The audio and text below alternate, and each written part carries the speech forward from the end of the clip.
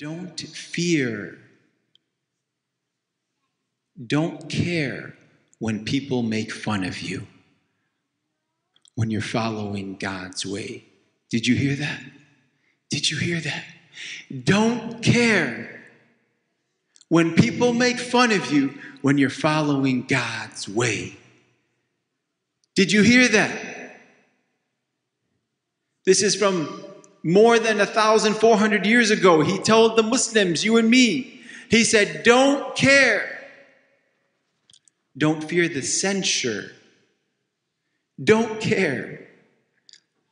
Don't fear the reproach of others when you're following Allah's way. Allah's number one. People are going to point, people are going to laugh, people are going to wink, people are going to belittle. But the superior does not run away from the inferior.